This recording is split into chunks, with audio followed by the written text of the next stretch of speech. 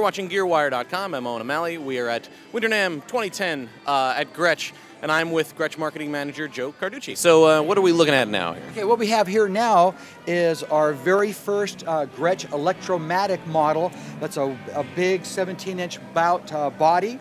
This is our Tim Armstrong uh, signature model guitar. And uh, uh, uh of course, uh, Tim Armstrong is the frontman and, and, lead singer with the band Rancid, who just celebrated their 18th year anniversary. They make no bones or apologies about it. They are a hardcore punk band.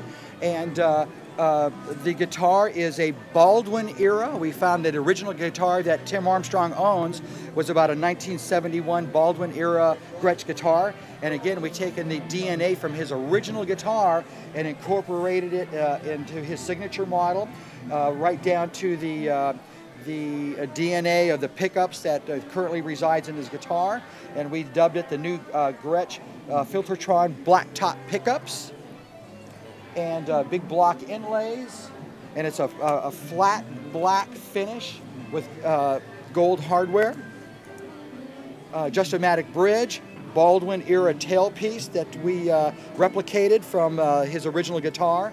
And this is the very first Electromatic model that we're also offering left-handed.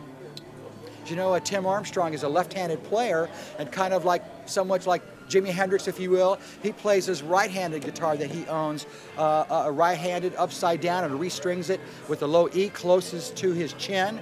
And uh, but now, of course, uh, we do have a left-handed model that he's currently using on the road, like what you see here. And uh, we're very proud of the association and bringing Gretsch guitars to a whole new generation of players and musicians out in the world. This is a fantastic sounding guitar. It features Grover tuners, and it's, med- it's meant to be played loud.